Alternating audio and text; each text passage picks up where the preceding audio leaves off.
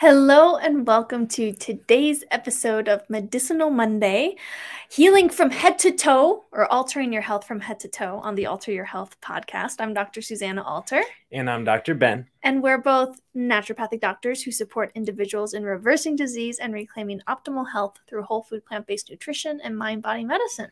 So we're working our way throughout the body. Of course, uh, last week we started at the top of your head or at the outside of your body, you might say. Um, it's talking about the hair, and I guess the next step is like where does the hair come from? Where well, it grows on the skin. So today we're talking about the skin and specifically creating radiant and clear skin, talking about some common skin conditions such as acne and eczema and dry skin just suboptimal, sluggish skin, maybe. Um, and of course, what we can do about it. And really, naturally, you know, the the whole purpose and intention is to support us in understanding really the the physiology and nature and connections within our body, so that we're more empowered and connected with kind of the common sense choices and behaviors that support us in living our healthiest life. Definitely. Yes. Yes. So let's first start by talking just a little bit about some of the most common skin afflictions that people experience. Um, maybe it's acne, maybe it's eczema, maybe it's psoriasis, maybe it's rosacea. Yeah. And hives. It, I mean, I mean, just right off the bat, you know, I think about all these skin conditions and um, I know that you were getting at the fact that like so many of them have common roots, even though mm-hmm. they have different expressions. Mm-hmm. and uh, and i think that it's common to just the, the mindset mindset of relating with our skin. It's like oh it's just this superficial topical thing. Um, so i just need some superficial topical treatment or ointment or band-aid like you know to to you know to just manage the symptom. And of course those kind of things can be really helpful in managing the symptoms uh, but really creating the radiance and the clarity uh, happens as a natural consequence of creating harmony and balance of our internal terrain.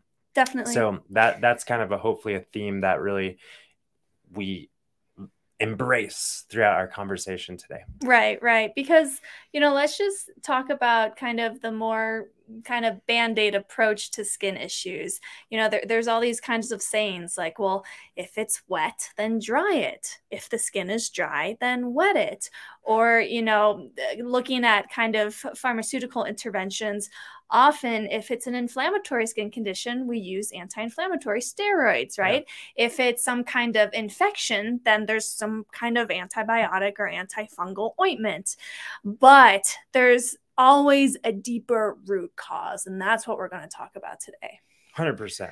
And um, of course, we're not suggesting that if there are any acute sort of infections that we just like, oh, consider what the deeper root cause is and neglect treating ourselves.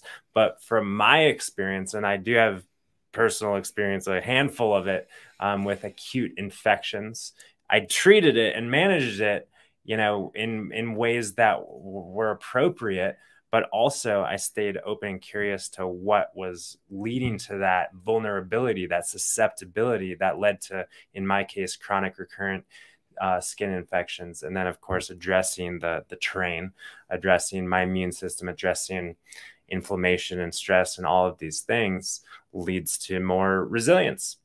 Um, so that's that's kind of something that we're not going to talk about, like the skin infections, but mm. uh, acne and eczema and rosacea and psoriasis are kind of the most common chronic skin and skin conditions. And then there, there's of course just like dry skin and aging um, that people are always wanting to uh, mm-hmm. slow down or reverse or and prevent. Skin Exactly. And then, of course, we'll just touch on skin cancer as well, because that's yeah. a big one. But yeah, starting off with these chronic, common conditions that are really inflammatory in nature, uh, where are they coming from? And, and remember, we're referring to eczema, psoriasis, acne, rosacea. Um, and many of these conditions, although they are unique conditions, they do stem from very similar kind of underlying imbalances. And one of the first major imbalances to consider is a person's gut health.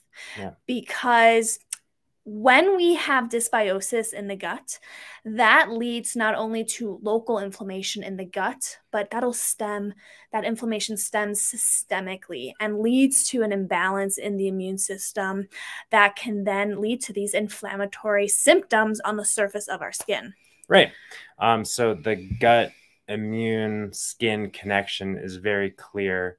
Um, and a lot of people, of course, have chronic digestive issues, maybe not even digestive symptoms, but dysbiosis that is reflecting through other inflammatory conditions, whether or in, inflammatory symptoms, whether it's joint pain or headaches or brain fog or skin flares and outbreaks, or maybe some migratory combination of all of the above. Mm-hmm. Um, right.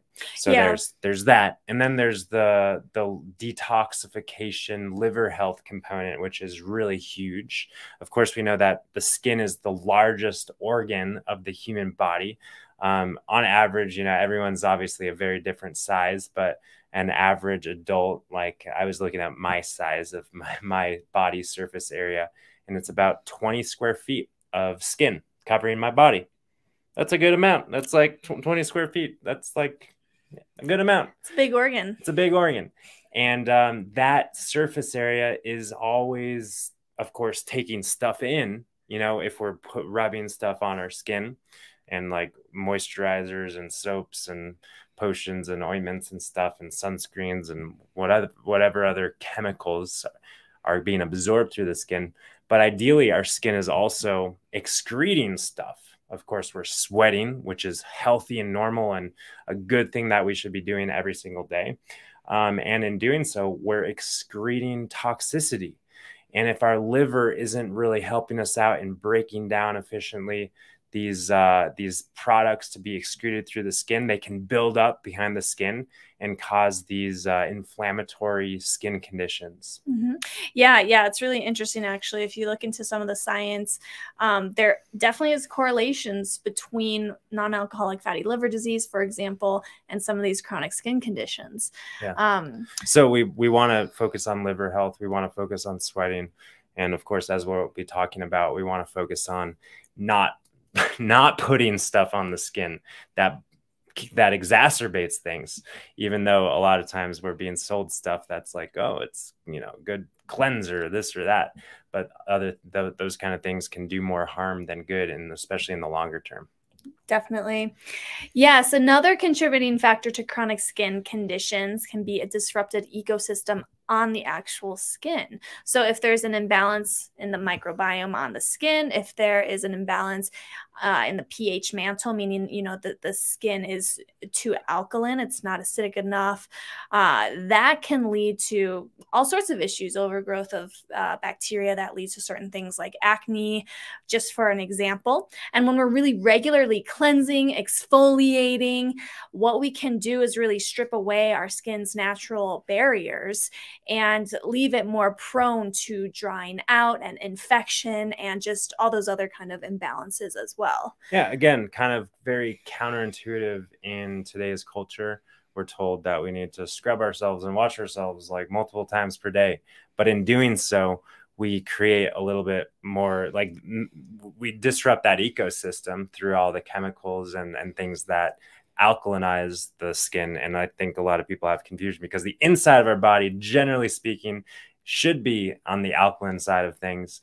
In terms of our topical ecosystem, our skin pH uh, should be maintained in, on more of an acidic level. Mm-hmm. Um, but of course, that that chronic disruption leads to a vulnerability, susceptibility to, you know, the the imbalance, the dysbiosis on our on our skin that of course you know we talk about dysbi- dysbiosis in the you know digestive system but the same thing can happen on our skin which leads to more susceptibility of again the inflammatory skin conditions and i guess all of them but i think mainly the acne mm-hmm. Yeah. Oh, yeah. Yeah. But then another contributing factor, of course, could be hormonal issues. And we see this, you know, maybe you experienced this when you went through puberty and all the shifts in hormones. Of course, it affects the skin.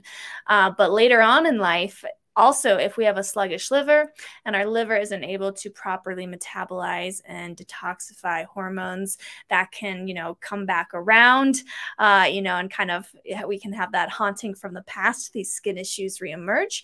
But also, when we're thinking about hormonal impacts, we need to think about the nervous system as well, because one of the biggest hormones that can affect skin health is actually cortisol. Cortisol yeah. will affect all other hormone levels in the skin, um, but when that when your body's under a state of chronic stress, um, your skin is definitely one of the organs that'll show it. Or acute stress. I know that you know uh, it doesn't happen so much anymore, but when I would be kind of stressed about a test or about a relationship or whatever, you know, it's like, yeah, get a little outbreak. Mm-hmm. And uh, that's a pretty common occurrence. But when you're talking about hormones, I'm so glad that you brought it back to liver health, the point before, because hormones aren't the issue. You know, it's like, oh, hormones, like, got to manage my hormones. Our hormones manage themselves with a healthy liver. I should say a, a healthy liver helps to manage our hormones and a balanced nervous system and a balanced nervous system mm-hmm.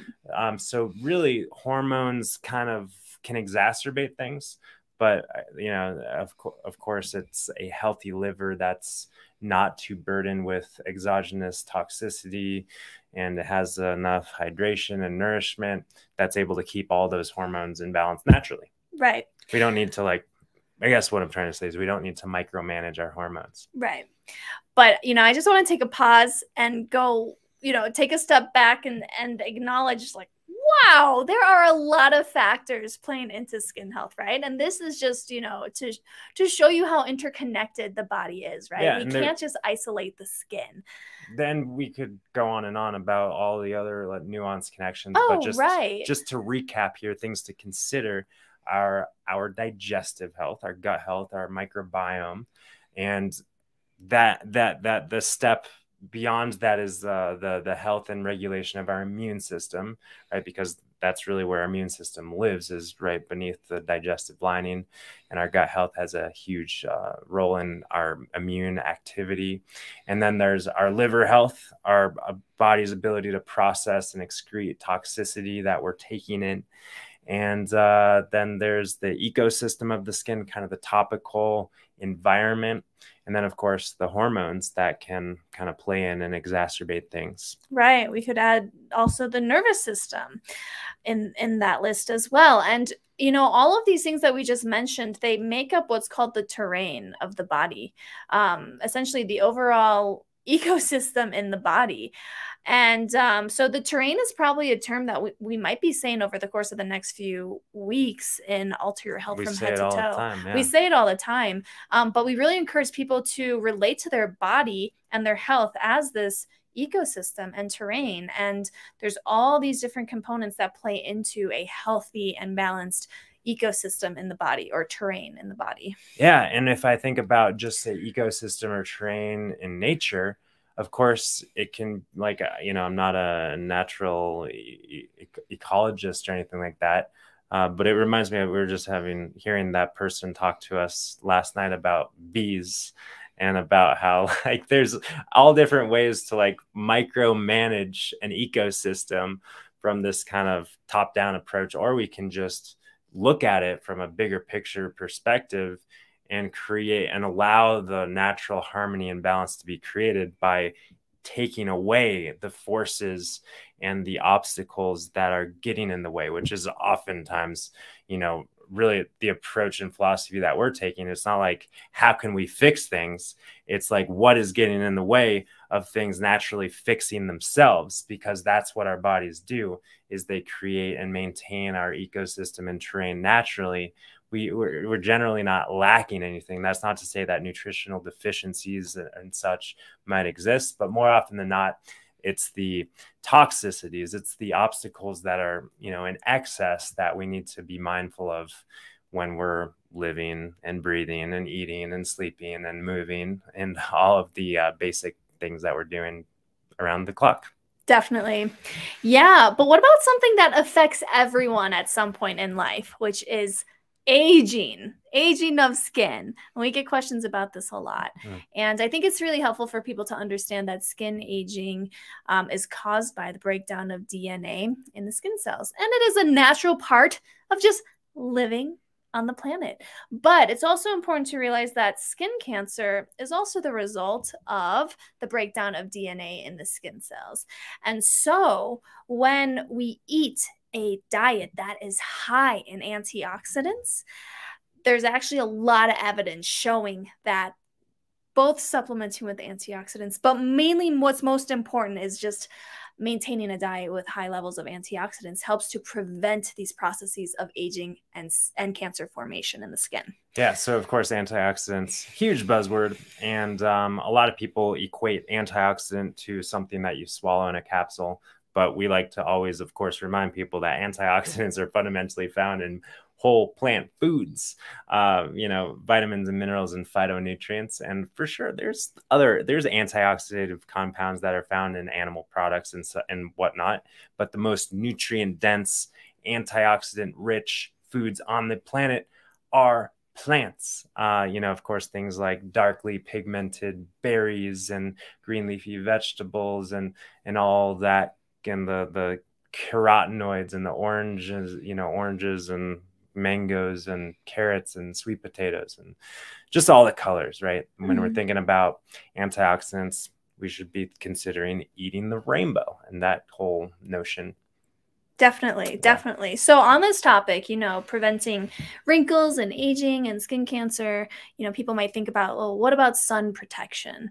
Um, and really, you know, we we're big proponents of going outside and spending time in nature and not yeah. being afraid of the sun. Oh, now, yeah. at the same time, if you have fair skin, you don't want to get sunburned. You don't want to have that direct DNA damage. And the best way you can really protect yourself from that damage uh, is to maintain a good antioxidant status. And then, if you know that you do burn, to use a very clean, natural mineral based sunscreen. But what's really interesting is you might find that as you increase your antioxidant status, and there are even supplements that can help people do this, you have a you have a small or a less lesser tendency to burn as quickly in the sun. Totally. Um, and uh, you know, yeah, I'm I'm not a huge fan of sunscreens in general. I you know, of course the the best thing that we can do is kind of just like, you know, if it's if it's coming into summertime and obviously we're in the middle of summer, so but but I think about kind of like training the body, you know, like going out for for 10 minutes and then maybe like 15 minutes and and kind of just increasing our uh, exposure to the sun over time, kind of building a little bit of base tan, even though a lot of people don't tan, that that still increases our resilience, especially when we have kind of this um, this uh, antioxidant reservoir to tap into that kind of offsets potential DNA damage. But the uh, the benefits of sun exposure, from my understanding, far exceed the risks of sun exposure. And that's not to say that we should just let ourselves bake all day every day, um, but you know, healthy, you know, just common sense. Right. But yeah. no matter what your skin tone, increasing the antioxidant status is going to be so helpful in slowing that aging process and also preventing the process of cancer formation in the skin. Right. So, and then I, I realized that we didn't even bring up the topic of hydration yet and like dry skin. Is that well? Yeah, I was sorry. I was gonna kind of bring that in at the end when we talk about the overall basic lifestyle interventions cool. we can do. Okay, cool. But yeah. yeah. when we're talking about the aging conversation, a big thing that comes into the conversation is things like uh, collagen. Uh, you know, and a lot of people are being sold like collagen supplements, and oh, aging is collagen breakdown. We want to offset that by eating collagen, and um, we make our own collagen. Collagen is the most abundant protein in the human body, and of course, vitamin C is an essential ingredient for bio but for the biosynthesis of collagen in your body. So if anything we should be quote unquote supplementing with vitamin c to allow ourselves to make more collagen. But of course we can get all of the vitamin c that we need from vitamin c rich whole foods. Uh, we really like amla kind of supplement amla berry supplement in a quote unquote supplement form like powder as well as, well as acerola cherry and camu camu berry and these sort of things that are mm-hmm. really of course not only vitamin C rich, but antioxidant rich, all the other bioflavonoids. And they support us in creating that collagen that keeps our skin plump and hydrated and resilient. Definitely. Yeah. Some other terms that come into uh, the skin aging conversation include hyaluronic acid, uh, which is a compound that really helps the skin stay plump and moisturized. And um, specifically for women, as they move through menopause, they start producing less hyaluronic acid because estrogen is a really key hormone um, that stimulates hyaluronic acid production in the body. But there are also some other foods that you can focus on focus on to increase your body's innate hyaluronic acid production, including vitamin C rich foods, which do boost hyaluronic hyaluronic acid as well as collagen, um, but also focusing on zinc rich foods because zinc deficiency is connected with uh, lower production levels of hyaluronic acid. And then soy, and this is really interesting because soy contains isoflavones, which is a class of phytoestrogens that can actually help to. Let's call them phytonutrients that are estrogen modulating. Yeah. Because a lot of people get thrown off, like a lot of people, such as you know boys men who like are like estrogen scared yeah scared scared of uh, soy yeah. but yes so phytonutrients that are estrogen modulating which means they help to balance estrogen levels and effects in the body.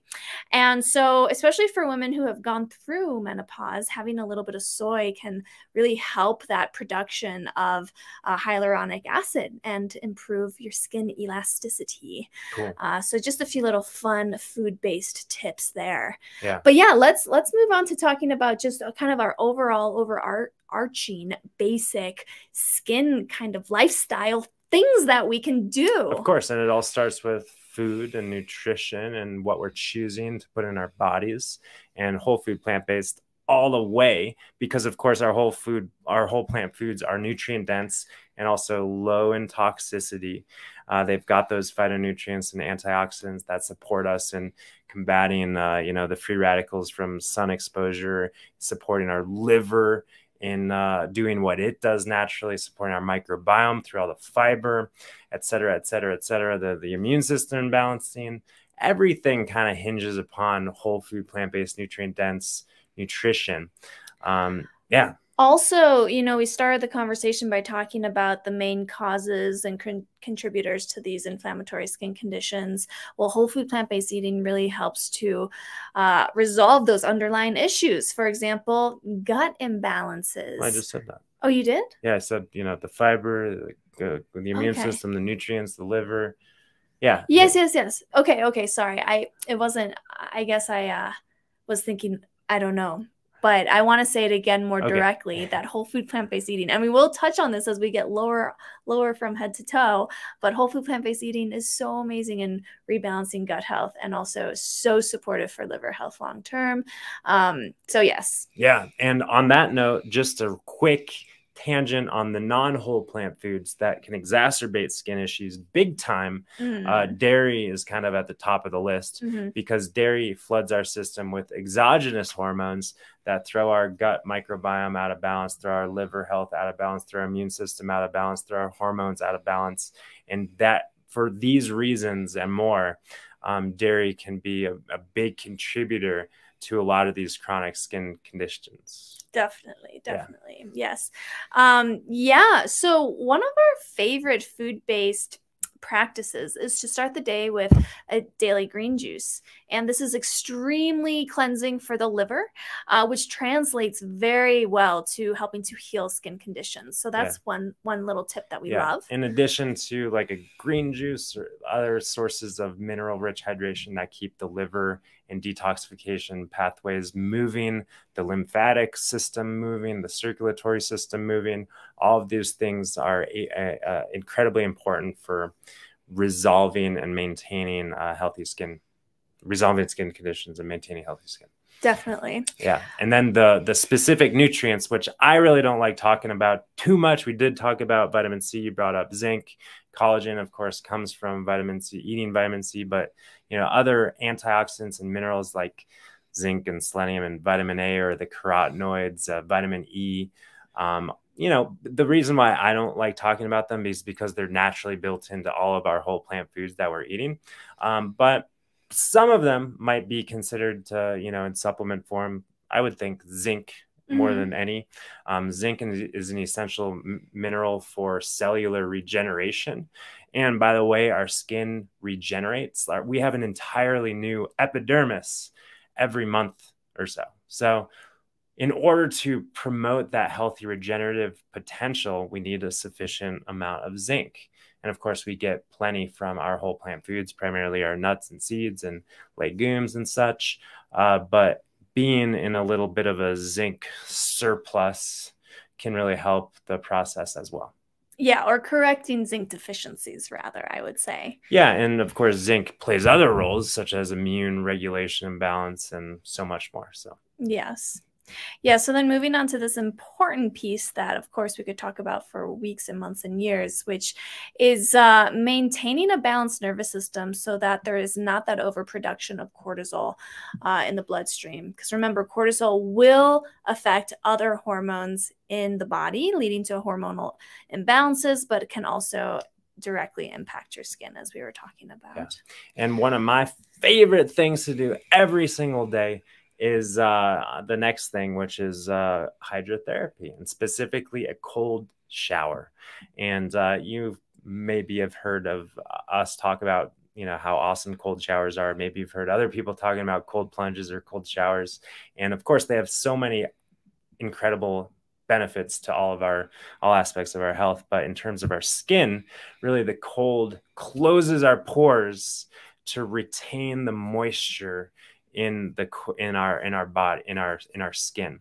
And also uh, the the cold exposure drives our circulation in a healthy direction.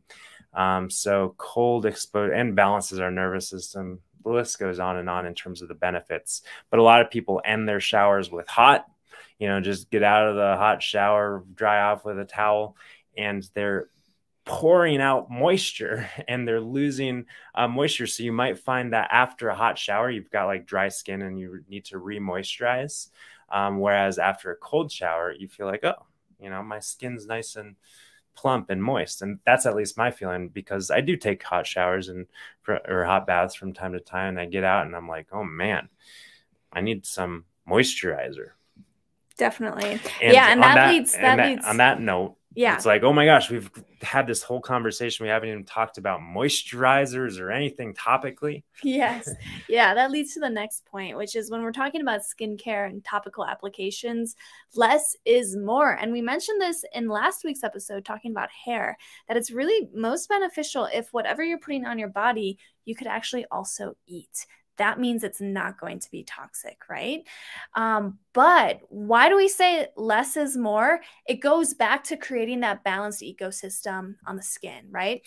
And and you know so many moisturizers cleansers things like this that people are constantly slathering on their skin actually shifts the skin's ph to a more alkaline state than is really ideal. And in that alkaline environment, there can be an overgrowth of pathogenic bacteria that leads to things like acne or can make people yeah. more susceptible to um, infections and inflammatory stuff. And it can break up that natural skin barrier to actually make it more easily easy for that uh, natural moisture in our skin to evaporate, yeah. leading to that dry skin. So yeah, less is more. And there's this whole approach called the caveman method that Susanna introduced me to like six or seven years ago, which is essentially putting nothing on your skin and allowing your pH, pH mantle to recalibrate. And it's a process. Uh, but then all you do is put you know water on your skin and of course you use soap on other parts of your body that are dirty or stinky or whatever but in terms of the skin you, it maintains itself hmm. which I think is just incredibly liberating, even for a dude who doesn't hasn't ever really relied on skincare products. I do know the whole world that exists and how many dollars are spent on topical skincare regimes, which we didn't even really harp on the fact too much that so many of these are filled with chemicals that exacerbate the issue and of course maybe they make us feel good and like they you know alleviate symptoms for some period of they time. they have pretty packaging. They pack pretty packaging. Uh, but the real beauty the real radiance is coming from within. Always. Yes. always. Yes. um so less is more. Tap into and unleash your inner radiance uh, by just living aligned with nature. Right. Yes. Yeah, so as we're wrapping up, we'll be back on Wednesday for our Wisdom Wednesday. We'll, we'll be talking about the mind body aspect of skin health. Uh, but until then, if you're looking for more resources, more support, head over to www.alter.health, where you can learn more about our Thrive on Plants program or other services where we support individuals and groups in reclaiming their health naturally through lifestyle medicine. All right, you guys, peace and love. Have a beautiful day. Bye.